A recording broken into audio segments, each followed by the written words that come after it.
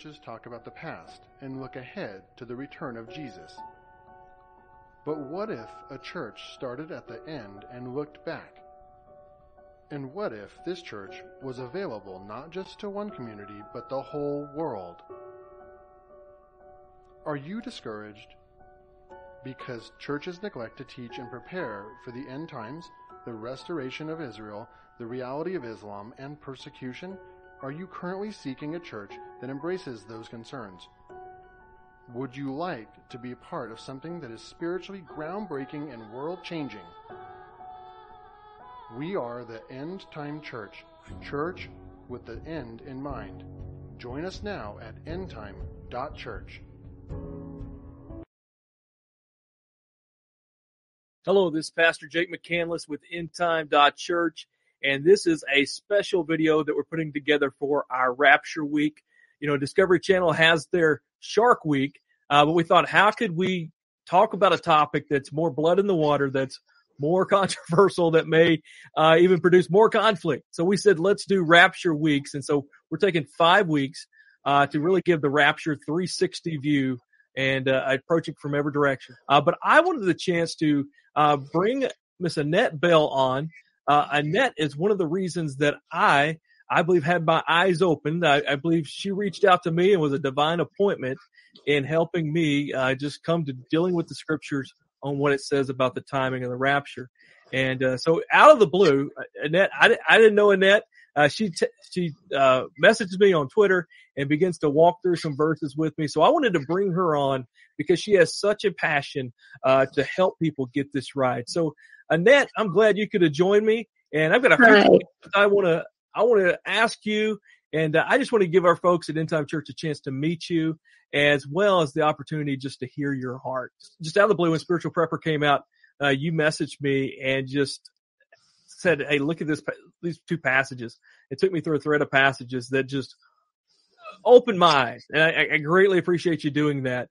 But I, and I see often I'm not the only one to read, receive such tweets from you, our uh. Uh, so obviously you're passionate about people understanding the rapture uh, will be later.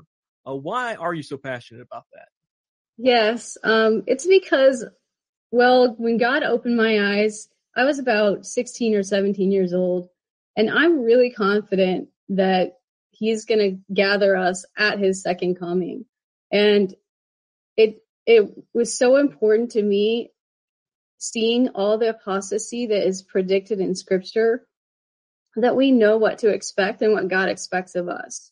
And why I reached out to you, um, well, I reached out to a lot of people, as you said, but one of the things that made me want to is you were talking about you wrote this book called spiritual prepper and i was like well does you know about like the most important thing to spiritually prepare for which is the tribulation to go through it and spiritually endure yeah i mean and, and i really see that people are at a dangerous point i mean that, oh, that was me it was a pastoral heart of i'm just seeing people turn away and i'm concerned you know, what can we do to help them prepare? And I'm thinking now and in the future. And, uh, and then, you know, so I'm on that journey already. And then you reach yeah. out and really push me because I'm all the time I'm trying to, you know, I'm saying trying to get scripture right, and you really push me to say, hey, this is, uh, this is what the scripture says. And, uh, but, you, but you're right. I mean, and, and so I appreciate you sharing that passion because they're, it, it's a dangerous scenario, isn't it? Yeah. Yeah. I, I think it's really the foundation. Uh, what we believe is really the foundation for apostasy when it's wrong, because so many different reasons why people apostatize, but at the underlying b- foundation, if we think we're not going to be here, we're not going to expect to go through all this stuff. We're not going to be prepared. And and so that brings mm-hmm. me to the next question. I, I really wanted to to uh, pick your brain about this. I mean, what's the biggest reason that you're opposed to the pre-tribulation view? Um, I mean, you alluded to it, but I mean, what's your your biggest problem with that? Well, the scriptures tell a different story, and the main, really, the main reason is I don't want people to fall away because they've been trusting in a deception that feels good, and I mean, I know that people can fall away for different reasons, and our theology isn't everything. We can still fall away, even if we know exactly what to expect, because we don't obey. So, but really, it's it's caring about people not wanting not wanting them to fall away is the main main reason. And we're not hearing this in churches most of the time. Um, I didn't grow up hearing it in my church, and I'm still not hearing it in my church. So yeah, and and so uh, so you reach out to a lot of folks on Twitter. Um, yeah. And and I mean, with me, I mean, you simply walk through some passages. I, I I'm curious. I mean, what what's the go-to passages and and what's the most convincing argument uh, that that you feel like you can give to help people change their mind? Well, people are different, um, but I can tell you two that two things that have one thing that helped me and one thing that helps a lot of people that I've heard. Um, for me, uh, First Thessalonians 4, 15 through 17, it's like the classic rapture passage. And I noticed when I was reading it, um, when I was searching to see, is pre-tribulation rapture taught anywhere? When I looked at that really closely, I noticed that there's two groups of people, two groups of Christians that Jesus is talking about, or Paul is talking about, and um, by the Holy Spirit there are the people who are dead in Christ, who are, who, I mean, dead in Christ, like they have died, but they were in Christ when they died. And those who are alive and remain in Him, or they are alive and they have rem- abided in Christ up to that point of Him coming back. So there's a difference between the two. And in verse 15, it it says that the alive and remain will not, will certainly not precede those who have fallen asleep. And then in verse um, 16, it says the dead in Christ will rise first.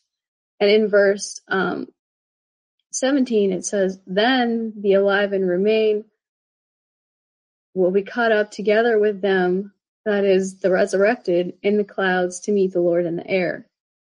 And so it was really clear to me that the resurrection has to happen before the rapture. And um, it wasn't, it, still took me a while as I was searching through the scriptures. Then I, I read Revelation 20 again. And when I started reading about the first resurrection, I was completely convinced. Other passages that a lot of other people have told me that have caused them to be post trib is Second Thessalonians two. I think that's the same thread that you you took me through. You you took me to mm-hmm. First Thessalonians four, which is a passage again. I mean, that's that's kind of the uh, you know the go to rapture passage, and and you pointed out the resurrection, and then and then you took me to uh, Revelation twenty uh, verses four through well, I guess probably one through six. And, yeah. Uh, asked me that question. Is this is uh, this is the first re- resurrection, which is very interesting that they even used that indication there uh, yeah. about first, and uh, then how can this be beforehand? And I'm, I'm looking at it, I'm like, because I mean, really, with the pre-tribulation view, it was like, what? I mean, really, I mean, it was the defenses that I, I did know was just vague, and I'm looking like the, oh my goodness, that's there. And then you took me mm-hmm. to Thessalonians two, and it's like I mean to me that's just as clear as day. Uh, but but I know for me it was almost like I had a veil uh, that I yeah. I mean I could I read those passages. I mean I was in Revelation 20 all the time and just was blinded to that. Uh, so I, I know you reach out to a lot of folks and I, I just I think that's I love what you're doing. Keep it up. I know it's going to be discouraging, and I, I'm just curious. What's the typical response that you get uh, and Deb, you seem to be unable to sway many people. Um, I it really varies. A lot of people respond with one of the 10 arguments that I see all the time, and I have articles written about them. um, on my website, I have an answer section, and there are things like, but we won't suffer wrath, and he comes like a thief, and the man of lawlessness, uh, the church will be cut up before the man of lawlessness is revealed, things like that. And once in the cloud, once in the Mount of Olives. So usually I'll try to share an article that is about to answer the question that they just kind of threw at me. And um, sometimes they read it, sometimes they don't. I think probably more than often, if somebody's heart is not open at all to hearing it, they won't even read it. Um, but the people who actually read it sometimes are more open. But I have the antagonists too, you know. Um, and people that say I'm not a Christian because I'm not pre-trib or call me Jezebel or whatever. I get Really? a lot of You abuse. Jezebel over the rapture timing. Yeah, twice. Wow, wow, that's, uh, that is something to I think be proud of that uh, you've uh, stirred up the hornet's nest that much. Annette, I, I appreciate what you're doing, and I, I really wanted to to let you be a part of Rapture Week because it was a huge part of of me understanding the rapture, and I, I think you're having a lot more impact than you realize. And if anything, there's not going to be blood on your hands. Uh, you're you're making the, the trumpet call, and well, that's probably a bad term to use with the rapture, but uh, you're putting the warning out. And so, Nick, Yeah. blog post, uh, how can people uh, reach out to you and, and find you? Um, my website is overcomingthetribulation.com. Sounds good. Well, Net, I, I appreciate you uh, being a part of this. And since you're starting a YouTube channel, you can we, we will get you some content right here that you can you can put on it. Annette, Yeah. thank you and uh, for being with us. And I hope people will reach out and uh, check out your blog, check out your website. Uh, End Time Church, thank you for being a part of Rapture Week. Uh, we look forward to sharing the rest with you. And uh, again, discern. And I hope even this would be a lesson. We need to be open.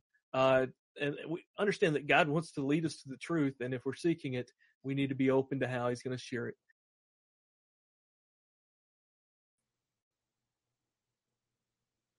Yes, welcome, my friends. This is End Time Church. Uh, we wanted to provide. Hey, there's Pastor Anderson. What's up, dudes and dudettes out there in uh, ETC land? There we are.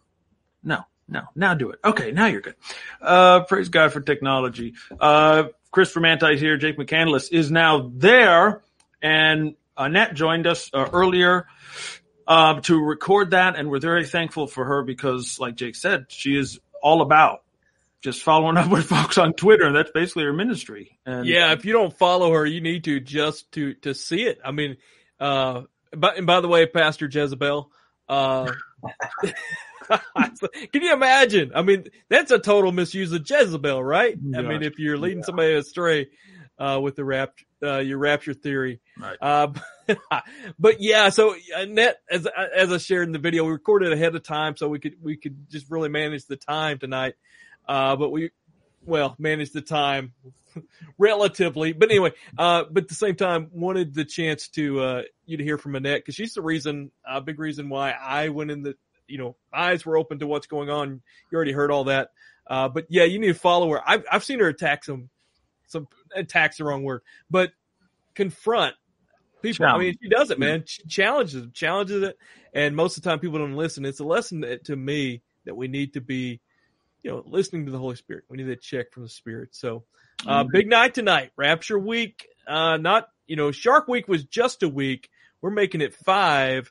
Lot going on. Rapture 360. You're going to get the full angle. And, uh, so stick it in, hear it all. And Pastor Mantei on the call tonight. So looking forward to that. part two, part two. Yeah. Uh, So get the app. Where I, I have real one thing to tell y'all: get the app. Welcome. Say hello. and, Uh, participate in the chat, even if you're not on our site. But I do encourage you to go endtime.church/live, or just hit the button for live. Uh, fellowship with us now all week long on the app. We're doing that. I mean, that's not a just a saying. It's actually happening where folks are really getting together and, and we're doing prayer times and, and all discipleship, all the rest of it. It's awesome. Uh, and then give. Uh, we want you to f- be generous in your giving because this is a mission that's plowing ahead. We are not, um, we don't, we don't have anyone to look to, frankly. You know, God is using us to trailblaze and to forerunner, you know, be a forerunner in this stuff. So, hey, I'm just saying, you know what, Lord, use us. That's fine. Send us out. Let's all do this together. And if he's guiding us, it's going to succeed. All right. I'm done. Okay, so yeah, you, stopped real. I need to save. Wasn't I need to save the that. voice. 'Cause I Yeah, got like 50 yeah. slides coming up. we got a lot to get to, uh, but we want to make sure we get a chance to worship because that is the. Uh, that, I mean, that's what we gathered. I mean, we were ready for the message tonight. We're ready to hear these teaching on the rapture. But what makes End Time Church special is the fact that we can gather together and worship, work through this together, and fellowship. And so we have the opportunity to worship. Pastor Anderson, thank you for that. Let's do it. Well, tonight uh, we got an audience of one. Every night, tonight, it's an audience of one. See, worship is not about the music. It's not about the song. Now that has that plays a part in that it creates an atmosphere. But our worship is the pouring out of our hearts, our affection to God. It's it's blessing Him with our worship, with with our words, with the heartfelt conviction that we have of adoration to the Father. And so tonight, I want you to join me as we worship the audience of one, the King of Kings, the Lord of Lords, Yeshua HaMashiach. Join me tonight as we play.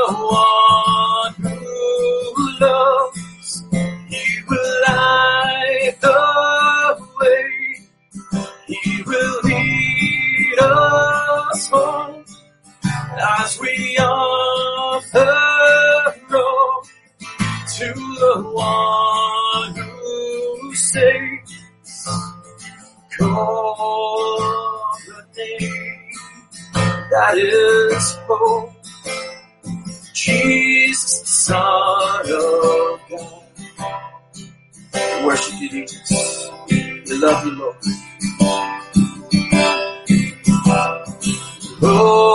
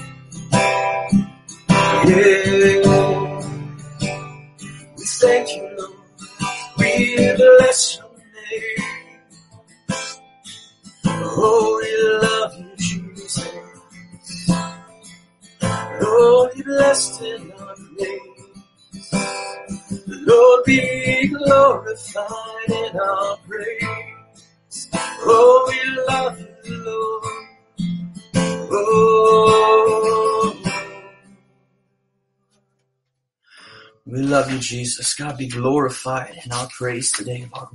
We worship you, God, our audience of one tonight. We thank you, Lord, that your love endures. We bless you today, Jesus. We love you.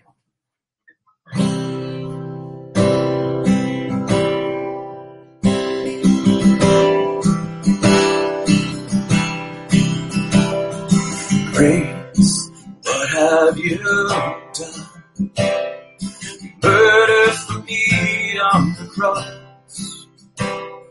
Accused, absence of wrong. My sin washed away in your blood. Too much to make sense of it all. To know that your love breaks my fall. The Scandal of grace, you died in my place, so my soul will live.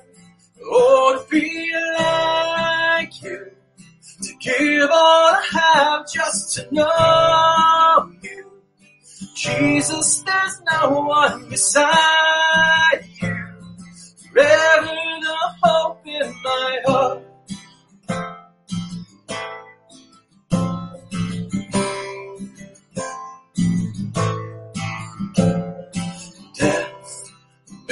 Is your sting? The power is dead as my sin. The cross has taught me to live. And mercy my heart now to see. The day and its troubles shall come. I know your strength is enough. The scandal of you died in my place, so my soul will live. Oh, to be like you, to give all I have just to know you. Jesus, there's no one beside you. Forever the hope in my heart. Oh, to be just to know you. Jesus, there's no one beside you. Forever the hope in my heart. And it's all because of you, Jesus. It's all because of you, Jesus. It's all because of your love soul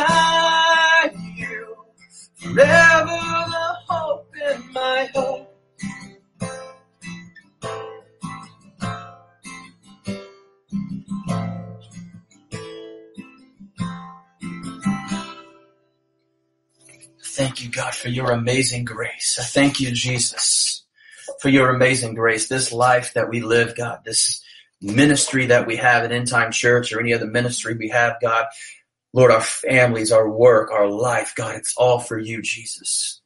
It's all for you, God. We thank you, Lord, for your grace and your mercy, God.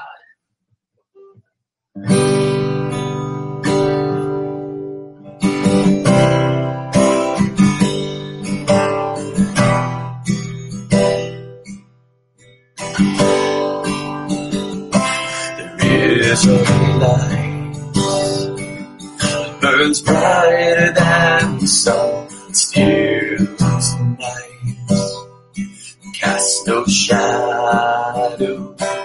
There is hope. Should oceans rise and mountains fall, you never fail.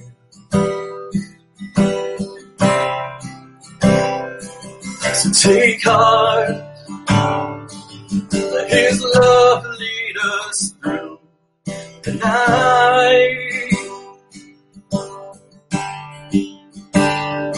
Hold on to hope, take courage again.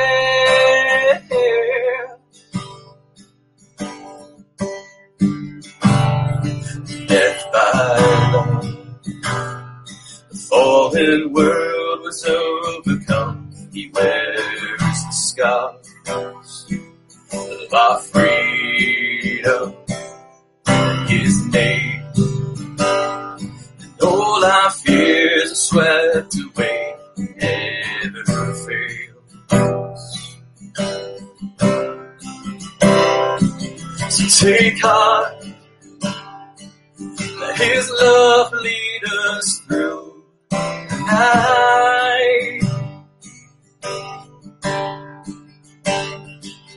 Hold on to hope. Take courage again.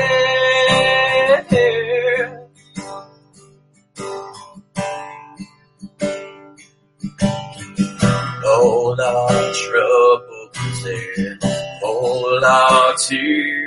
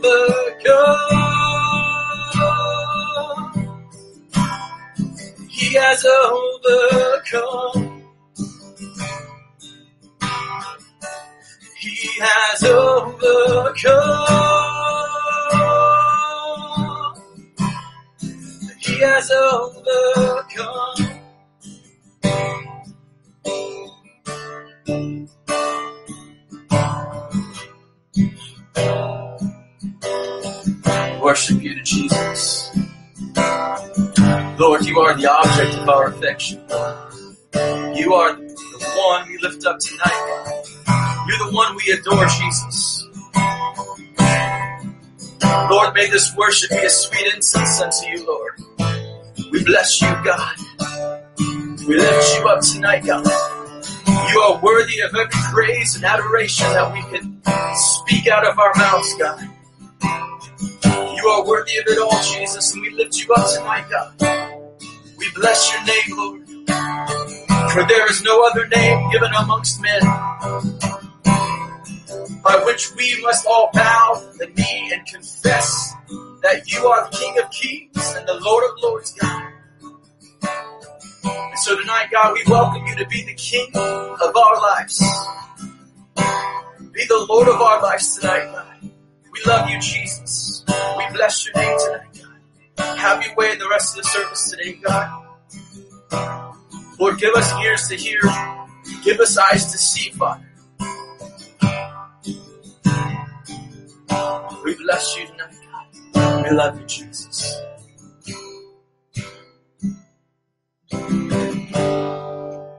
Have your way in the service tonight, Lord. We bless you.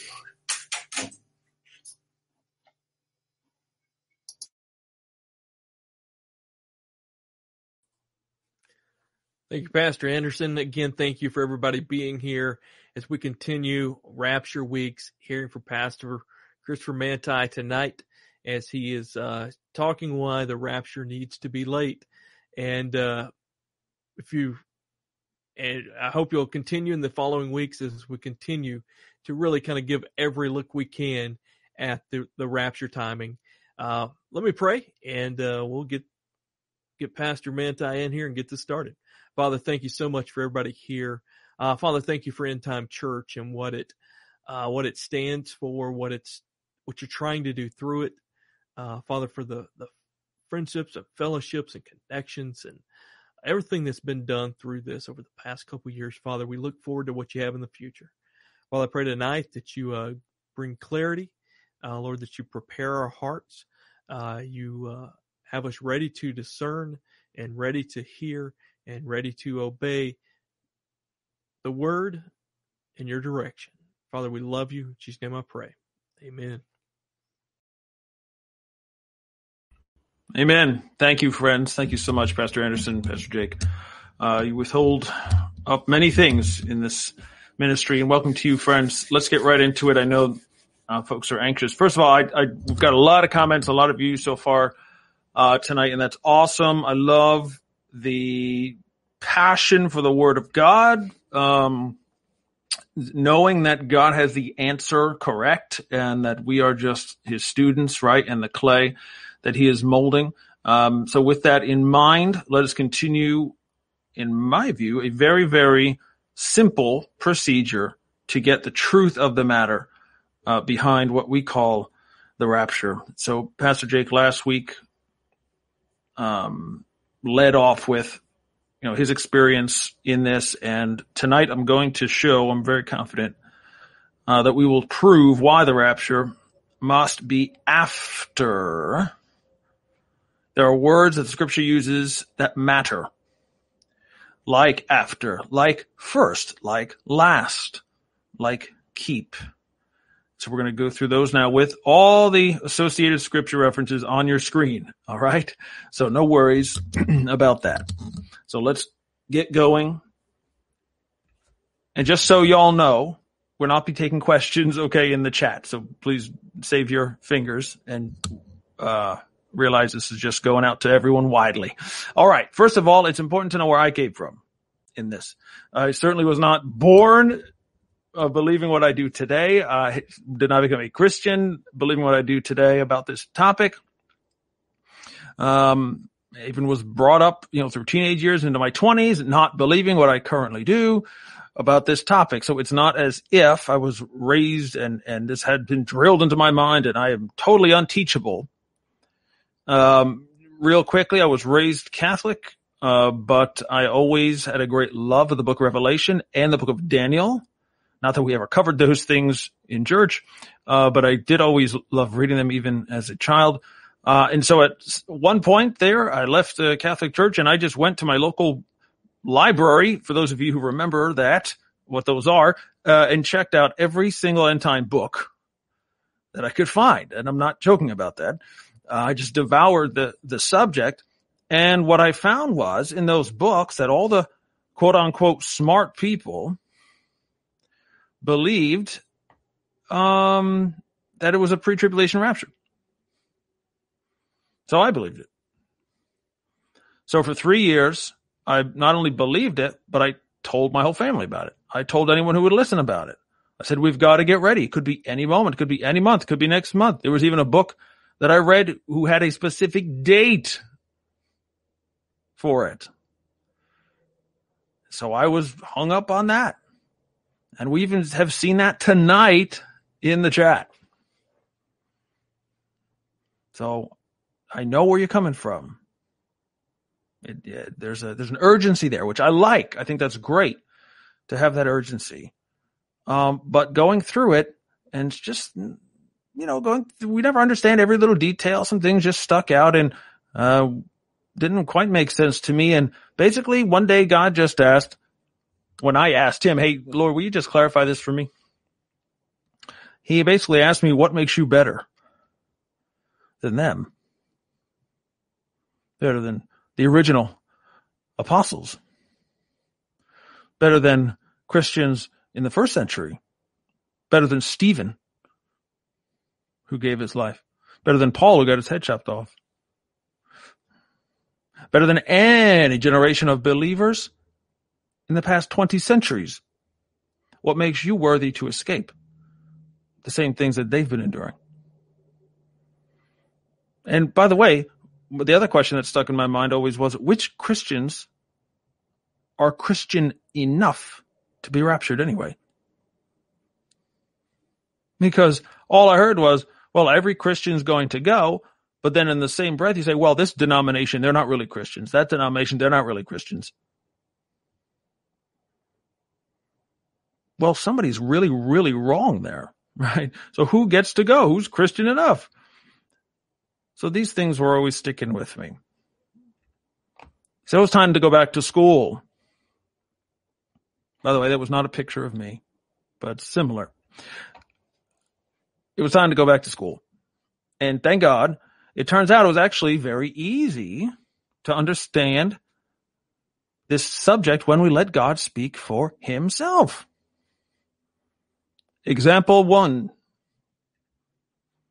Last means last. Can we agree on that? When you say the word last, it means nothing happens after that. It's the last one.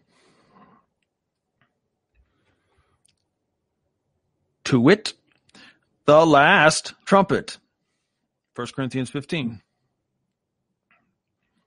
Here is the scripture. We're going to cover a sliver here, but you want to read basically from chapter uh, verse 12 all the way to the end. Now I say this, brethren, that flesh and blood cannot inherit the kingdom of God, nor does corruption inherit incorruption. Behold, I tell you a mystery. That means I'm revealing a mystery, okay? He's not giving you a new mystery. He's revealing an old one.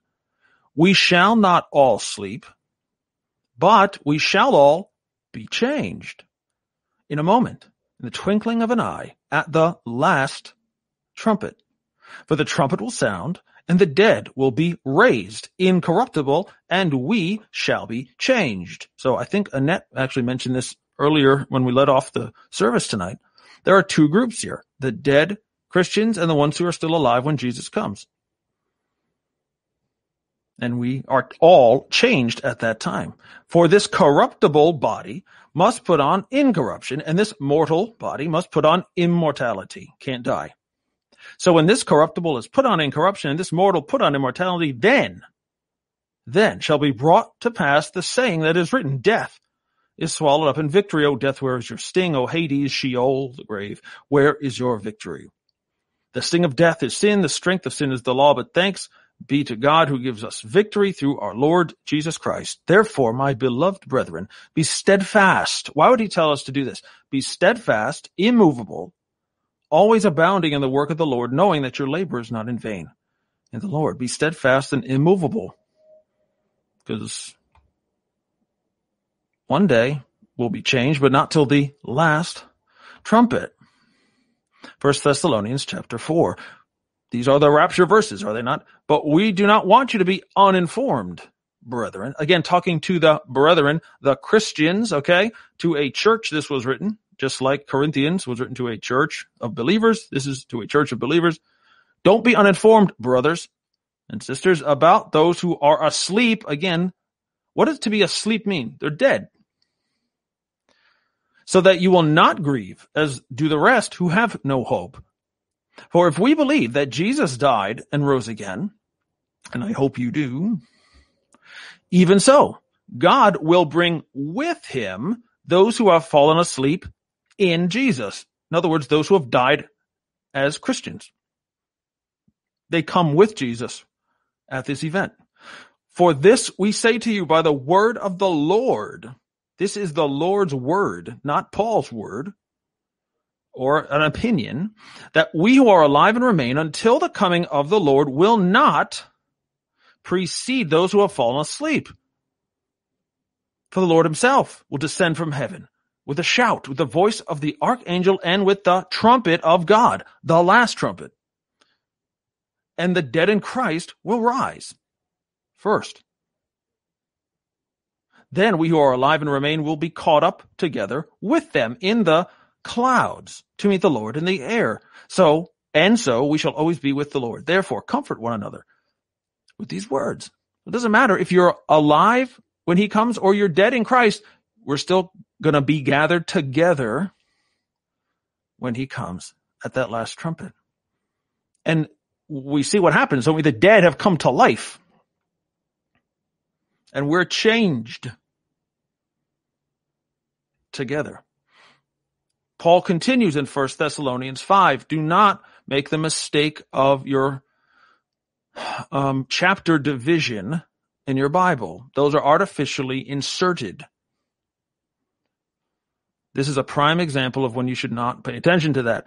1 Thessalonians 4 and 5 are the same thought. But concerning the times and seasons, brethren, you have no need that I should write to you. In other words, when does this gathering happen? What is the time and the season that the dead will be raised and we are gathered together with him in the clouds when he returns? When is that time? He says, you should know this already. You don't need me to write to you. Yourselves already know perfectly well that the day of the Lord so comes as a thief in the night. For when they say peace and safety, then sudden destruction comes upon them as labor pains upon a pregnant woman, but they shall not escape. You, brethren, are not in the darkness, so that this day should overtake you like a thief. Listen there. He just says he comes as a thief in the night. The day of the Lord comes as a thief. But those of you who know the times and the seasons will not be taken by the thief. It won't come upon you like a thief. You won't be surprised because you know it's coming next. There cannot be a surprise rapture. It won't be at any time. The day of the Lord will be well known that it's on the way. Those who are watching will know the order of events. And what is it? He just says, what happens first? Peace and safety. What does that mean? Israel has to shout peace and safety because they've made a contract, a covenant, a deal with the Antichrist and the surrounding nations. It's a peace deal. They will be shouting peace and safety, but then suddenly the Antichrist invades. That all must happen before we can talk about the day of the Lord. And Paul is already saying, I don't even need to tell you. You know this already. You shouldn't even be confused because you are sons of light and sons of the day. We are not of the night nor darkness. In other words, the thief comes in the night, but we don't have to worry about that because we know. Therefore, let us not sleep as others do, sleepily walking through the world, not knowing what things are coming when, but let us watch and be sober.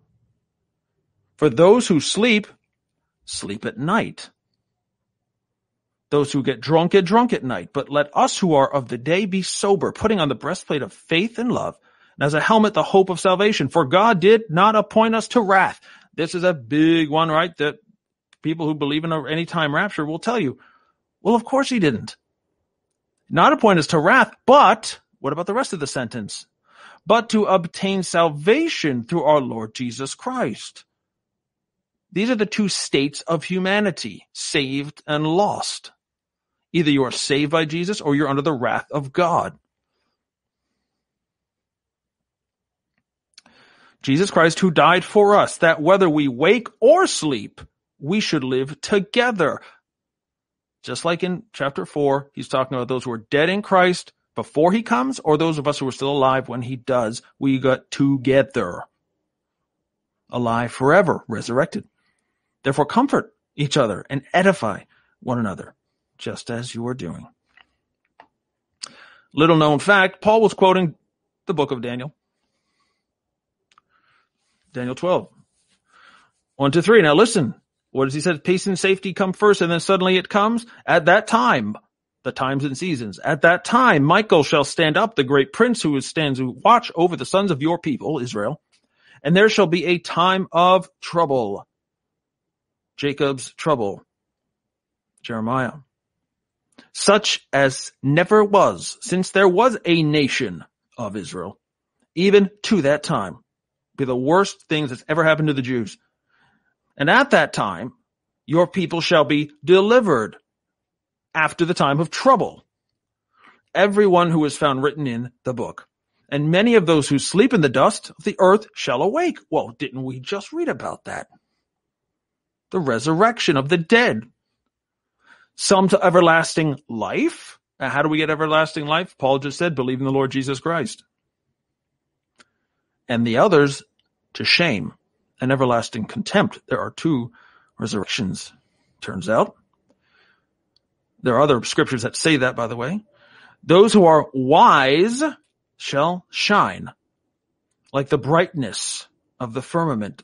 Why brightness? Shining like brightness, like the sun, because it's daytime. They're children of the day. Paul just said that. And those who turn many to righteousness like the stars forever and ever. eternal life, immortality. So what does last mean? Last means last. We just saw it. 1 Corinthians 15 says the last trumpet. And what do we see? A comparison. If you go back to verse 12, which we didn't cover, it'll be too long.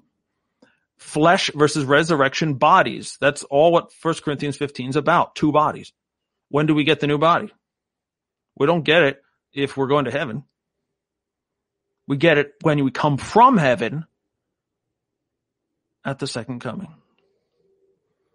That's the last trumpet. The last trumpet is the seventh. How do we know that? Uh, Revelation 8 through 11 says there are seven trumpets, and Joshua chapter 6 demonstrates that there are seven trumpets prophetically. The last trumpet is detailed in Revelation 10 7 and Revelation 11 15 to 19 it has a name. It's called the mystery of God is finished at that time. What's the mystery of God? The church. The one new man. Fullness of the Gentiles has come into Israel. That's the end of the church. That's the end. All the believers that will believe have come in. That's the mystery of God. That the Gentiles can now come into the children, the kingdom of Israel. Romans chapter 11, 1 Corinthians 2 both say that. First Thessalonians 4, as we just saw, the dead in Christ come with him, come with him. So when he's in the clouds to take those of us who are alive and remain on the earth, the dead are with him. Why would they be with him if they weren't coming back? Because they got their new bodies already. It's for the earth. It says we're caught up together. Doesn't mean us living with us living. It means the living and the dead are caught up together. That's the gathering. That's what the rapture is biblically really called, the gathering to Christ. First Thessalonians 5, as we said, the same thought from chapter 4, the same time is the day of the Lord when the wrath of God happens.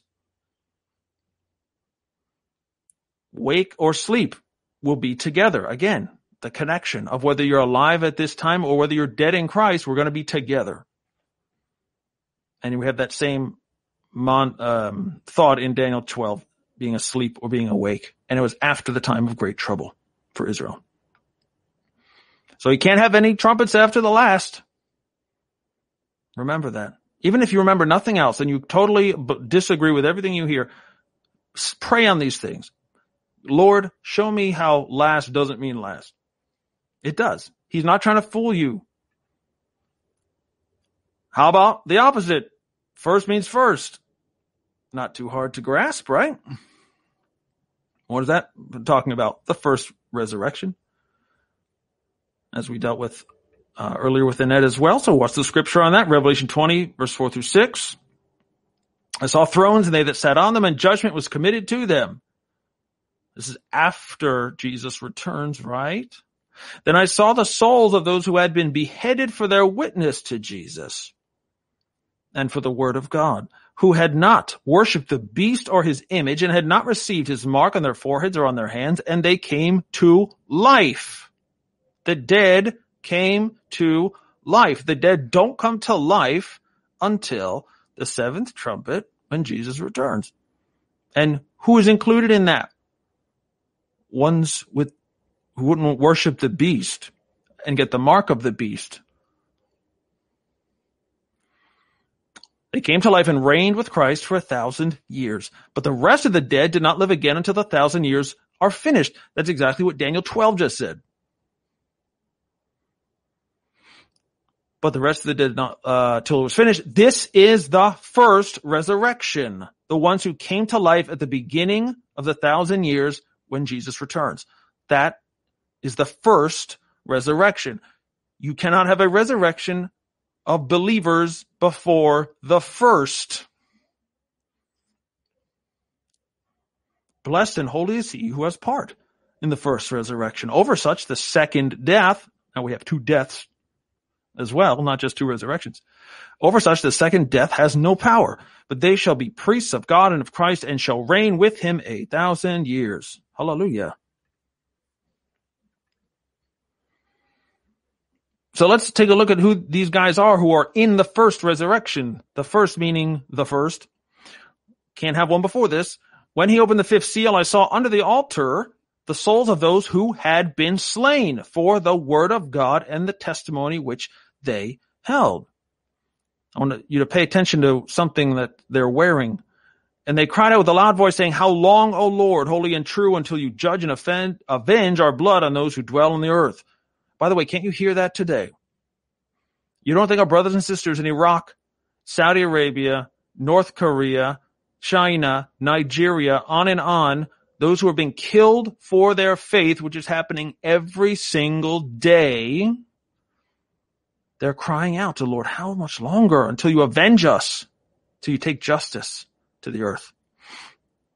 Then a white robe was given to each of them, and it was said to them that they should rest a little while longer until both the number of their fellow servants and their brethren, listen, brethren, right, who would be killed as they were was completed.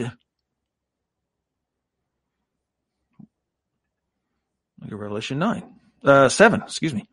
Now, look at the similarities again. After these things I looked, behold, a great multitude which no one could number of all nations, tribes, peoples, and tongues standing before the throne and before the Lamb, clothed with white robes You have to be a martyr to get a white robe at this point. Don't you? You have to be dead. Like you died on the earth, not raptured, died in heaven. Died. They are clothed with white robes. But wait, I thought the great multitude was the, this great party of raptured saints. No, it's nowhere in there. It says raptured. They died. There's a great multitude because there will be a great martyrdom. And I believe this is counting up the martyrs from all the ages. Clothed in white robes with palm branches in their hands, crying out with a loud voice, saying, Salvation, no, not how long, O Lord? Now it's salvation belongs to our God who sits on the throne and the Lamb. All the angels stood around the throne and the elders and the four living creatures and fell on their faces before the throne and worshiped God saying, Amen. Blessing, glory and wisdom, thanksgiving, honor and power and might be to our God forever and ever. Amen. Then one of the elders answered saying to me, who are these? Who are these arrayed in white robes? And where did they come from? Hmm. And I said to him, I don't know. Sir, you know. He said to me, these are the ones who have come out of the great tribulation and washed their robes and made them white in the blood of the Lamb. How can one come out of the great tribulation if you were not in the great tribulation? yeah, you can't. They had to have been in it. So you see, I don't care what you think you know about the rapture, it ain't happening until people are dying in the great tribulation. Which you should know, we all should know, any prophecy student who've, you know, class one of prophecy teaching is the great tribulation is the last three and a half years of the age. So they had to be there to come out of it. The first resurrection includes all Christian martyrs who were killed during the Great Tribulation. The first resurrection includes them. Revelation 20 said it. You just saw Revelation 7 says it. Now, when does this raising of the bodies come into play? Uh, Jesus spoke on this, did you know? John chapter 6, verse 39, 40, 44, 54. This is the will of the Father who sent me, that all he has given me, of all he has given me, I should lose nothing, but should raise it up at the last day. Oh, forgot to underline that. At the last day. And this is how the will of him who sent me. This is the will of him who sent me, that everyone who sees the Son and believes in him may have everlasting life, and I will raise him up at the last day. No one can come to me unless the Father who sent me draws him, and I will raise him up on the last day. Whoever eats my flesh and drinks my blood has eternal life, and I will raise him up at the last day. John 11. Martha said to Jesus, Lord, if you had just been here, my brother would not have died. But even now I know that whatever you ask of God, God will give you. Jesus said to her, Your brother will rise again. But Martha said to him, I know, Lord, he will rise again at the resurrection at the last day. Jesus said to her, I am the resurrection and the life. He who believes in me, though he die, he shall live. Amen. So when does the resurrection happen? Well, it can't happen before the first one. Revelation 20, first resurrection includes those beheaded in the great tribulation. It says that. Revelation 6 and Revelation 7, the white robes are given only to martyrs. John chapter 6 and chapter 11 means the resurrection happens on the last day. Jesus the Christ, your Lord, said so. so that's the rapture. Now that we know, hopefully, that last means last and first means first, how about the word keep? I will keep you, Revelation 3 says. Now, this is to my experience, uh, this is the prime answer or first defense, first line of defense for someone who says, "Oh, we can't, the rapture's got to be any moment," because Revelation three says He will keep me from the hour of temptation. Oh, look at that! I'm just looking in the the uh, comments, and there it is. Here you go, Omar. I know your works. See, I have set before you. You can't just take one verse. Look at the whole thing. I've set before you an open door. No one can shut it. For you have a little strength. You have kept my word and have not denied my name. There's something to that fact. Keeping his word. Because you have kept, I can even have done it, the sentence above that too, kept my command to persevere. The word kept is tereo. You have kept my command to persevere. I will also keep tereo you from the hour of trial which shall come upon the whole world to test those who dwell on the earth. Behold, I am coming quickly. Hold fast to what you have, that no one may take your crown. Why would he tell us to keep his word, not deny his name, keep his command to persevere and hold fast if he's going to take you away before. The word keep doesn't mean remove. Keep you means like you keep his commandments. To keep his commandments, does that mean to remove his commandments from your life? Of course not. Here's the definition. Go look it up. It's a verb. In your Strong's Concordance number G5083, it says to keep watch over, to guard, to observe.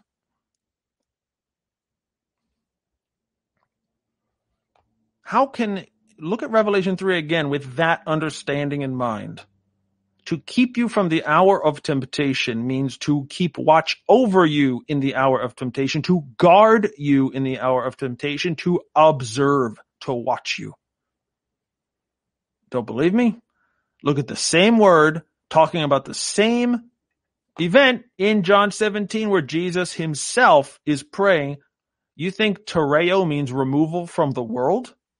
Because it says, I'll keep you from the time of trial or temptation that's coming on the world. You think that means take you away from the world? Look what Jesus says.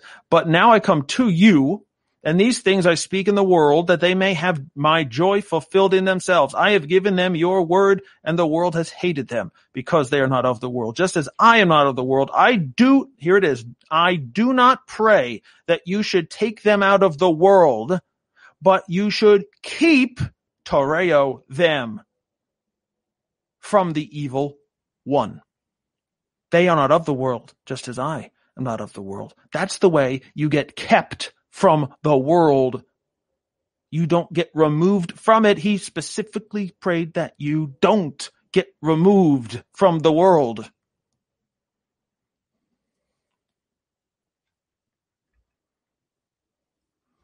Example two, Revelation 16. Apply this, take away uh, nonsense of a definition to this sentence. Behold, I am coming as a thief, which we just heard from Paul. Blessed is he who watches and keeps Tereo his garments. Uh, would you want to throw your garments away? Remove them from yourself? Would you call that keeping your garments? Or does it mean remaining clothed? It means remaining clothed. Lest he walk naked and they see his shame to be shamefully exposed. Tereo does not mean to go away to heaven or to remove from the world. It means watch, guard, observe, persevere, keep my commands. That's what it means. Same word in other contexts used in the Gospels to keep the commandment. Go look it up. Do a word search on Tereo in the New Testament. Keep my commandments. Keep the commandments. Keep my word. Keep the Sabbath. You cannot in, in any way massage that to mean removal from the earth. It means to keep. to observe it, to do it, to protect in the midst of the world and the enemy. Same word, same context, John 17, 15. I'm telling you, I go to this constantly. Just say, if you're in a battle over this and somebody brings up Revelation 3 and that, they don't want to hear that what tereo means, go look up John 17, 15. Jesus says, don't remove him from the world. What is, is his prayer going to be answered? Yes, it is. Revelation 3.10 is the exact opposite of a rapture to remove us from the earth. It's the opposite. Keep means keep. After now means after. I hope we're being clear here because God is being exceptionally clear. After means after. After the tribulation, for example. Matthew 24, Mark 13. Let's take a look. Uh, in a minute, we'll take a look at that, but look at Second Thessalonians 2. What does it mean to say after the tribulation? Now, brethren, again, brothers, sisters, Christians to the church of Thessalonica. The church, concerning the coming of our Lord Jesus Christ and our gathering together to him. That's the rapture. We ask you, do not be soon shaken in mind or troubled, either by a spirit or by a word or by a letter, as if it was from us, the apostles, because it's not. As though the day of the Lord had come. The day of the Lord was understood to be the return of Jesus when he gathered his saints to himself. That day will not come yet. It is not today. It is not tomorrow. Why? Apostle Paul, who has direct experience on the road to Damascus with the risen Jesus, says, Let no one deceive you by any means. For that day, capital D, the what? Day of the Lord will not come. The gathering to Christ, the coming of our Lord Jesus and our gathering together to him, that day will not happen until number one, the falling away comes first. The apostasy, the great apostasy. And two, the man of sin is revealed, the son of perdition, who opposes and exalts himself above all that is called God or that is worshipped so that he, as God in the temple of God, sits as God in the temple of God, showing himself that he is God. Do you not remember when I told you these things when I was still with you? First Thessalonians, he said the same thing. When I was with you the first time, I already told you how this all goes down. It's not going to happen right away. We've got to have the peace and safety part. That's this. Then comes what? The great falling away and the Antichrist sitting in the temple. Nobody, nobody in any interpretation, no, no theory that I've ever heard puts the Antichrist being revealed and sitting in the temple in Jerusalem before the final seven years. Of course not. Doesn't make any sense. By the way, the reign of the Antichrist, the great tribulation, is what causes the great falling away. Because there's a false prophet on the scene performing miracles that you're not ready for. I'm not ready for. Without the Holy Spirit, you will not endure. You will be deceived. Even the very elect would be deceived if it were possible.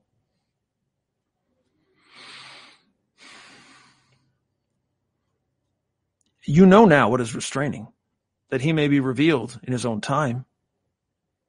The restrainer withholds this time. For the mystery of lawlessness is already at work.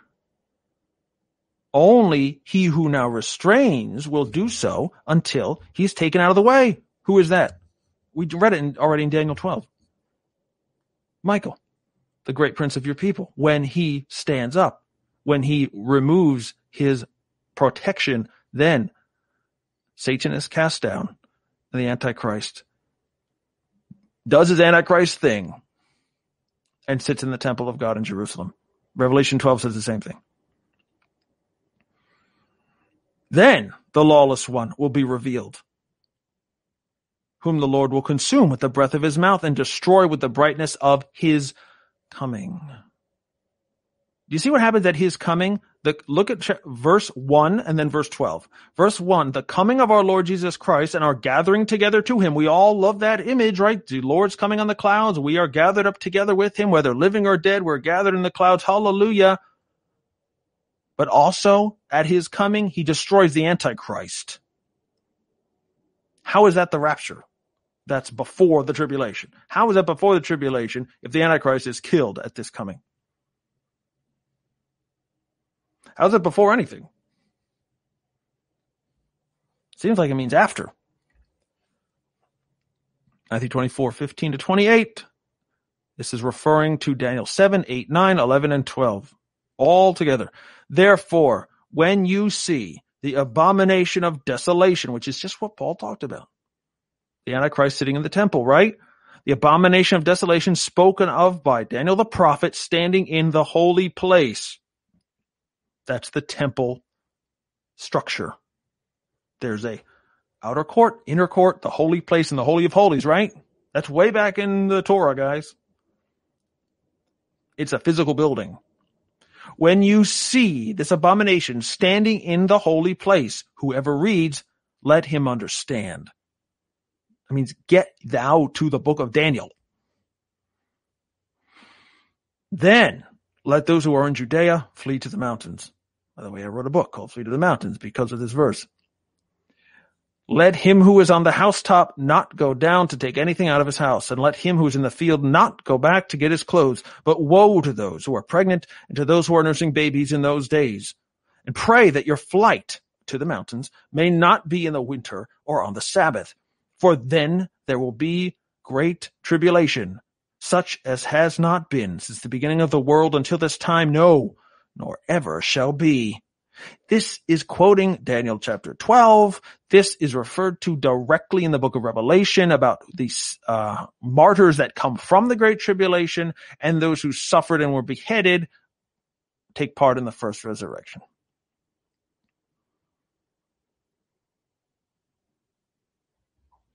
And unless those days were shortened, in other words, ended, no flesh would be saved at all. But for the elect's sake, those days will be stopped, cut short. Then if anyone says to you, look, here is the Messiah, or there, do not believe it.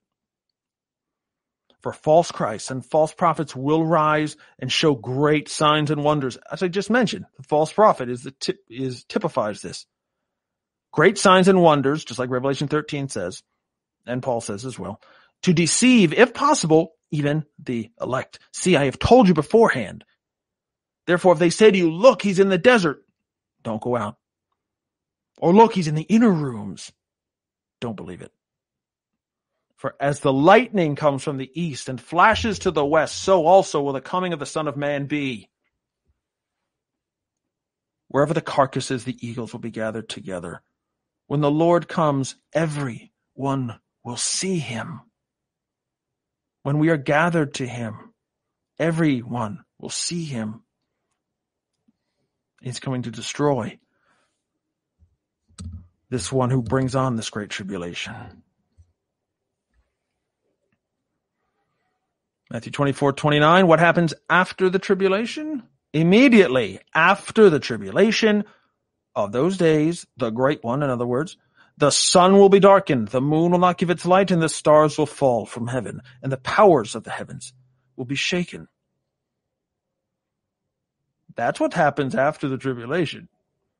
That's called the day of the Lord. There is no time of peace after that. There's no rest for seven years. There's no rest for anything. It's here.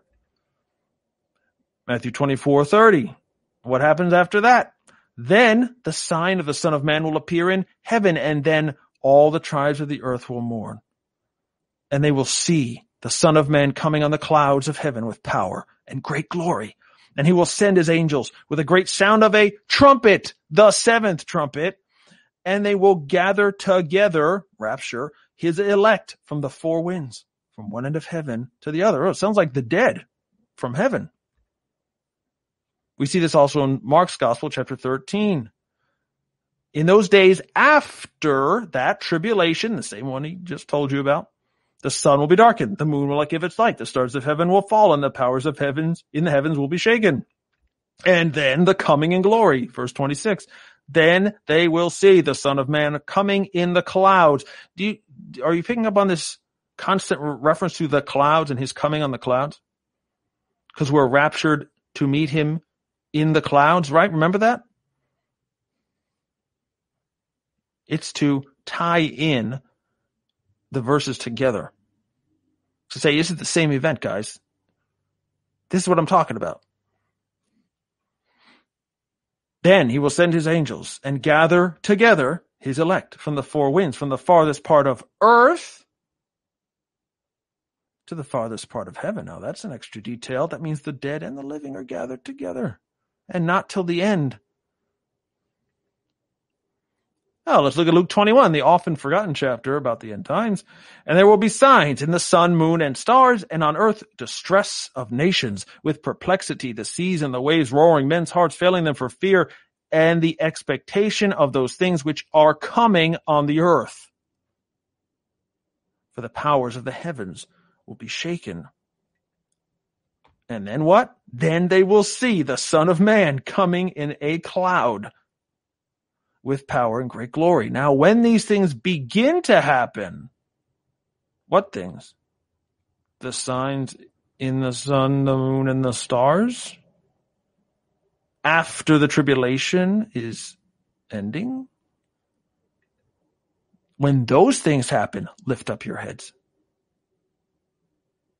Because your redemption draws near. The redemption of your body. The resurrection. The rapture the coming of the Lord. Not when you see some sign seven years before, when you see the signs in the heavens.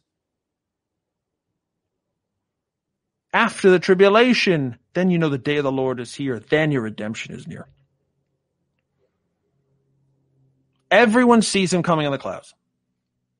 Why does he come on the clouds? Why does everyone see him do that? It's not a secret. It's not a disappearing act. It's not a U-turn. Everyone sees him coming on the clouds. He returns to what? To sit on David's throne. David's throne in Jerusalem and judge the nations. That's why he's coming. That's why he leaves heaven. Look, he's coming with the clouds. Every eye will see him, even those who pierced him the nation of Israel, unbelieving Jews, and all the tribes of the earth will mourn over him. That's Revelation 1 7.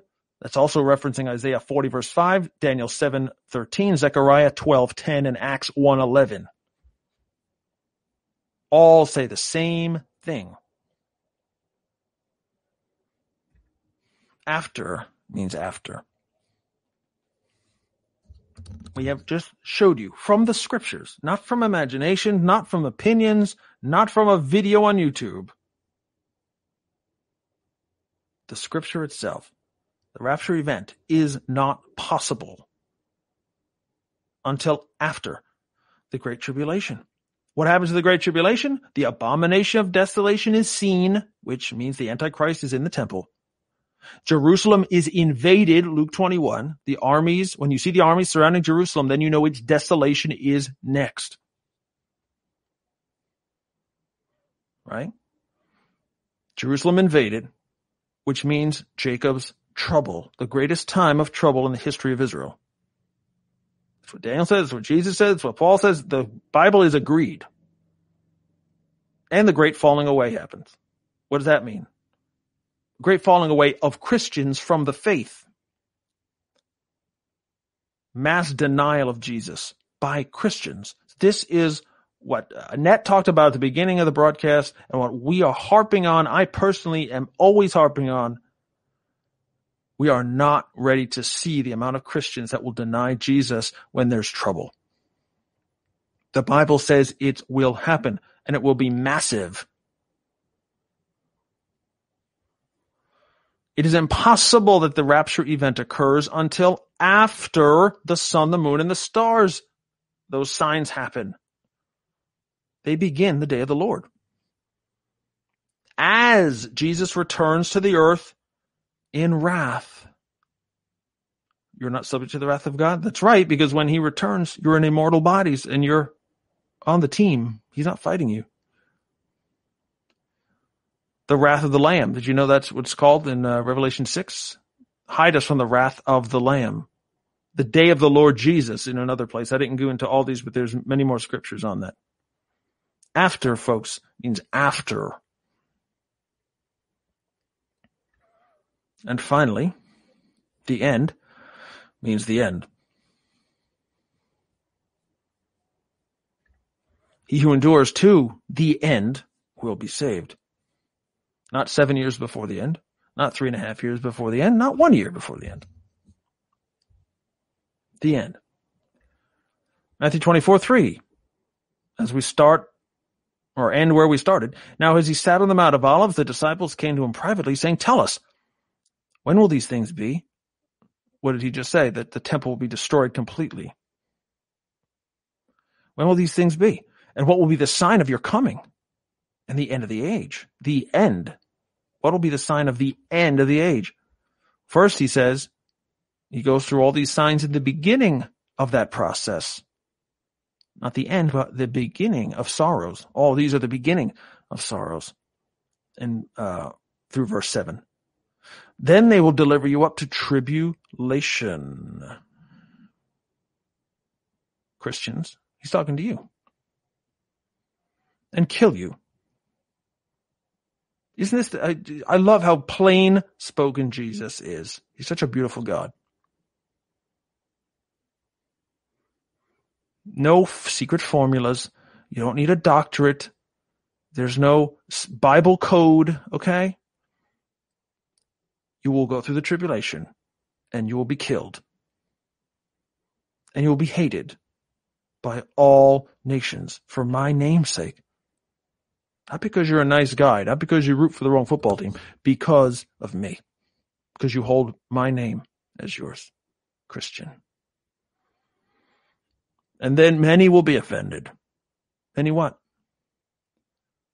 Many Christians will be offended because of what's coming on the earth. They'll be offended at God for sending them tribulation. How dare you, God? I thought you loved me. I thought you loved your bride. How could you let her get beat up? Is what this ridiculous statement that many, unfortunately, you listening have said. Thank God I never said something so dumb. They'll be offended at God. They'll betray one another. Christians will betray each other and will hate one another. Then many false prophets will rise up and deceive many. Maybe ones who say, hey, you know what? Jesus is already here. Yeah. His name is Isa, but he, that's Jesus.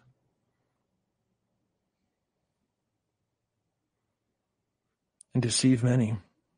And because lawlessness will abound, be everywhere, the love of many Christians will grow cold. These are all tribulation facts. Okay? But he who endures to the end will be saved, shall be saved. And this gospel of the kingdom, that the kingdom is coming, the tribulation comes first. We must endure to the end. That gospel of the kingdom will be preached in all the world as a witness to all the nations, and then the end will come. Endure till that moment. By the way, I think this is just some uh, things about end times and, and death and destruction and martyrdom. He says it in a different way at the very end of the gospel, Matthew 28. All authority has been given to me in heaven and on earth. Therefore go and make disciples of the nations, all the nations, baptizing them in the name of the Father and of the Son and of the Holy Spirit, teaching them to observe all things that I have commanded you. And lo, I am with you always, even to the end of the age. Endure to the very last day of the age. That's what certain translations of that verse say. The very last day of the age, the last day. What happens in the last day, John chapter 6? The resurrection. The Holy Spirit will be with you the whole time. There is no removal of my church. You're always here till the very last day when I come. Jesus will be with us as we take the gospel to all the nations, ending it where it all began in Israel.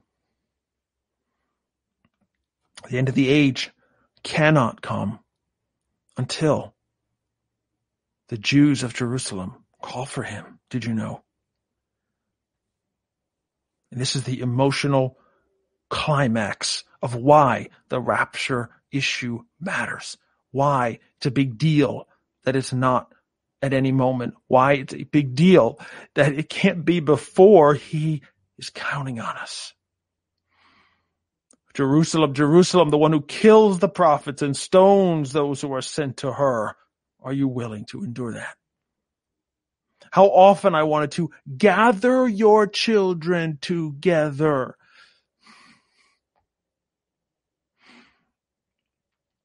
That's why the rapture is called the gathering, friends,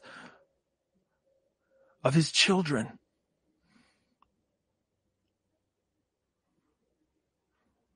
As a hen gathers her brood under her wings, but you were not willing.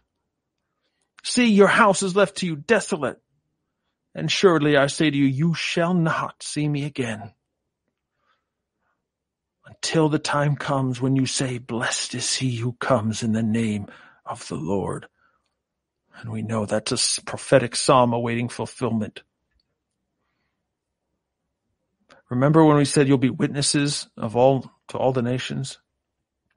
Lord, when he's about to ascend to heaven, will you at this time restore the kingdom to Israel?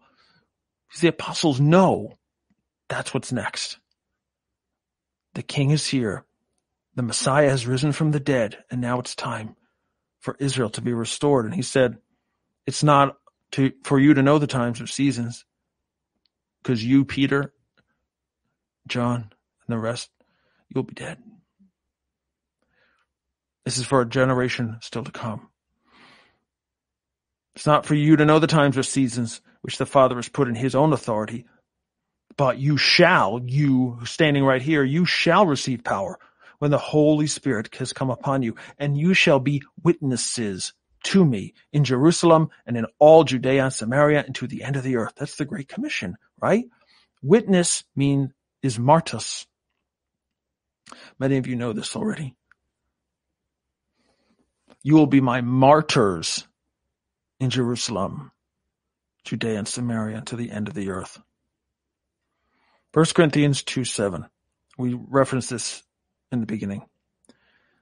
The wisdom we speak of is the mystery of God, his plan that was previously hidden, but now is revealed. What plan was previously hidden that is not revealed that will lead to the seventh trumpet? The plan was the opening up of the kingdom of Israel to the Gentile nations, whosoever will, the church. Israel will call for Jesus and say, blessed is he who comes in the name of the Lord at the seventh trumpet. We know this because it says the tribes of Israel shall mourn when they see him coming with the clouds. They will know, Zechariah says, that they are the ones who pierced him.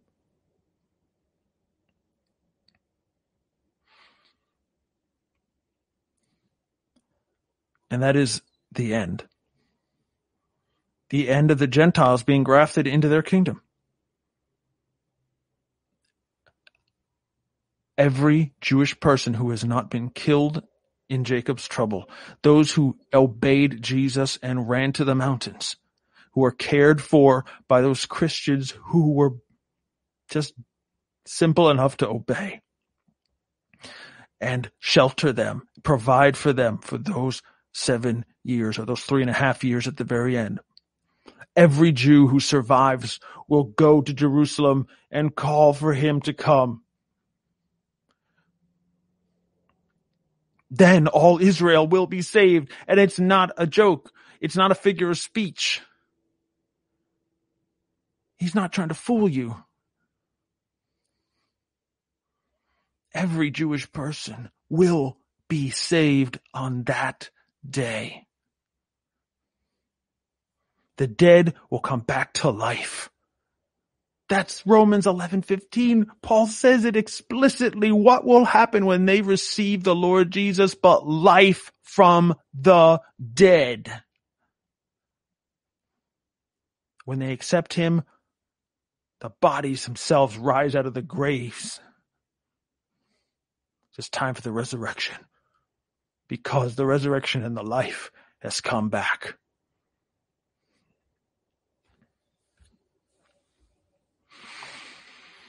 Okay. Before the last trumpet slash first resurrection, we must know and understand that there is the entire three and a half year great tribulation. Revelation 12 tells us plainly what? That the tribulation is not God's wrath. It is Satan's wrath against the Jews and the faithful church.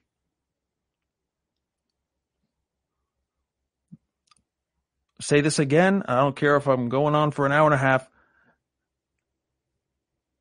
The Great Tribulation is not the wrath of God. The Great Tribulation is not the wrath of God. It is the wrath of Satan against the Jews and the faithful church. The mature, who is the faithful church?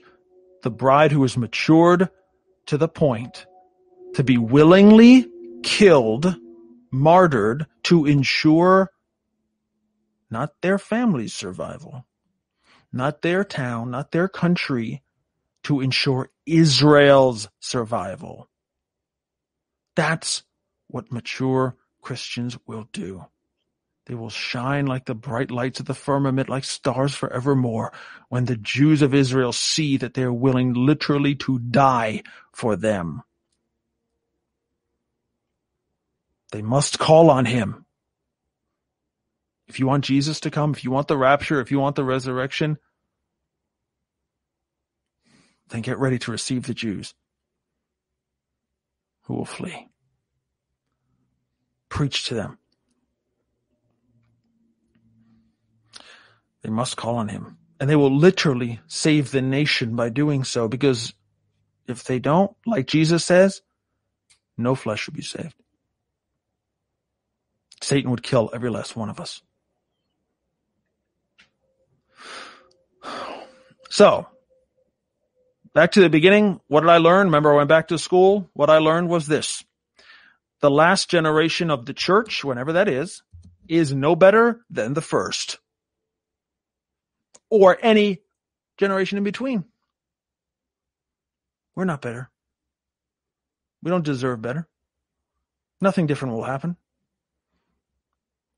Persecution, suffering, and martyrdom for the name of Jesus has always been with us and will be until the very last day of the age. The desire to escape is of the flesh. It is not from God. Your desire to be in comfort, your desire to sit in heaven and watch things unfold is from the enemy. It's not what a mature Christian attitude is. And it is not what the Bible teaches. It's not what the Bible teaches. It's not what the Word of God says over and over and over and over in so many ways, in so many contexts.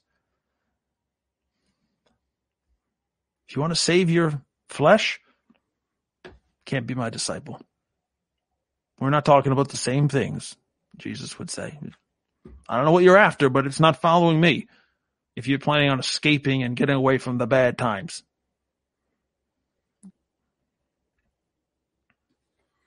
The hard times. Last slide, I promise.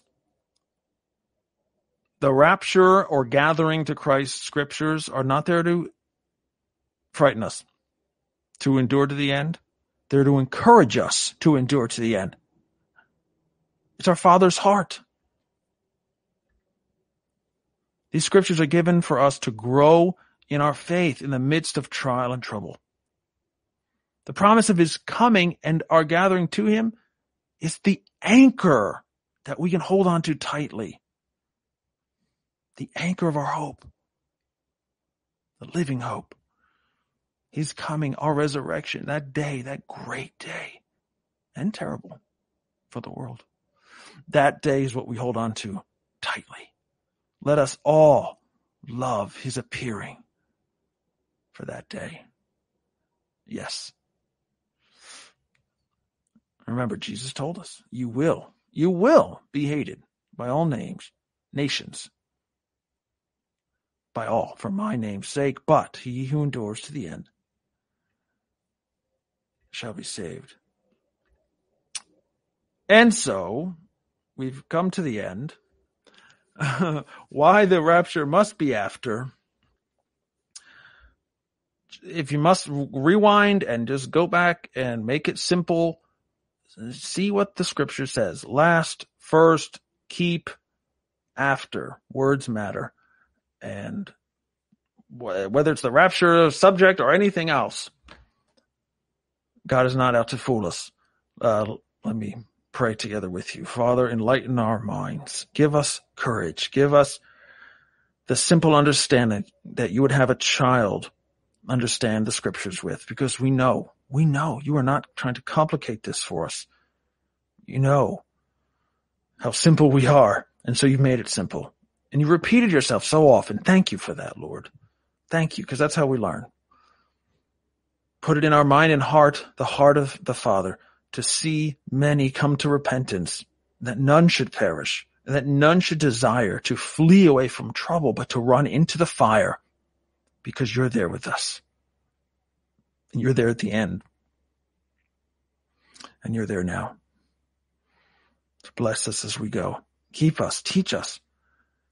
Even if this is a hard lesson, Father, I pray that we may all come to one understanding of this crucial topic in all the world.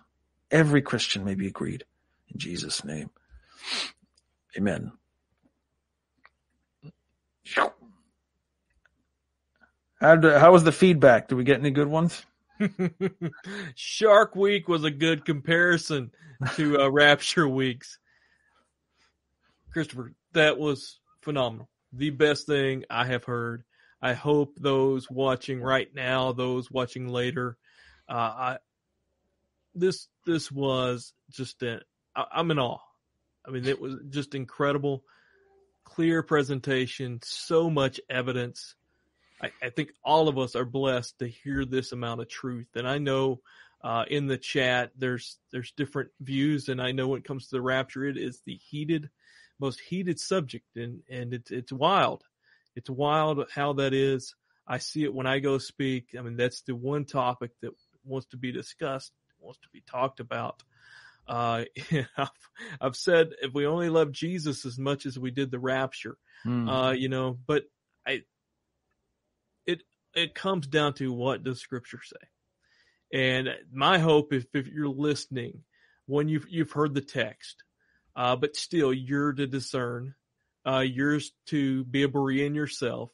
Uh, but you have to understand we're, I think in a situation where some reason that is veiled, and then even when we when we get to it, we say it's no big deal. You know, everybody's got these different views. It's a big deal. I mean, the, some of the things you presented tonight.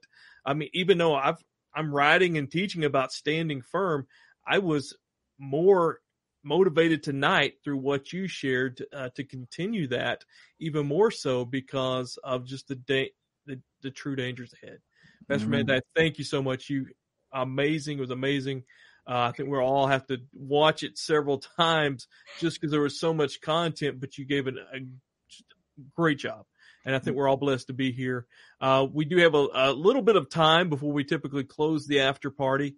And so let's hop over there. If you'd like to stick around, if you've got questions, if, if you're here and, uh, you completely disagree with what Pastor Mantei have, we invite you in. We invite you in to discuss one thing that we're, we're not here to argue. We're not here to prove a point. We're just simply here uh, to tell the truth that we're working through and sharing. And so I encourage everybody to discern, discern, discern, be Bereans, uh, but also check uh, where you're coming from when you do this. Uh, thank you for being a part of Endtime Church. Rapture weeks continue. Uh, and so Pastor Mantei shared why it must be after, uh, which leads us to two of the main four views uh, the pre-wrath view and the post-tribulation view. Uh, and so we have a speaker next week who will talk about the pre-wrath view. Uh, Dr. Alan Kurschner is really the man when it comes to pre-wrath. He's not just written the book; he's written several books on it. Uh, and then the, the with the post-tribulation view, uh, our good friend Daniel Seckham, who we know is going to be thorough with the scriptures. We and know that as well. So look forward to that as he will be back the next week to talk about the post tribulation view. And then I, I, think really just another component of this that gets left out so much is where the rapture fits in in the fall feast. Uh, as we, and I think really encourage you to be here when Chadwick Harvey shares on that. Thanks for being here. Uh, love each and every one of you. Be here next week for Rapture Weeks. Come over to the after party. We'll have some fun. I love y'all.